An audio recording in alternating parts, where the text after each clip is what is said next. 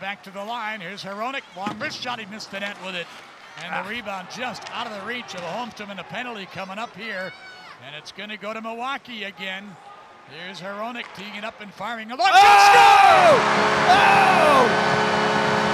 Filip Hronek. A shot that must have tipped a foot and went right under the glove of the netminder. Matt O'Connor, a fluky goal. And not surprising, that's the way Lack of scoring for Grand Rapids.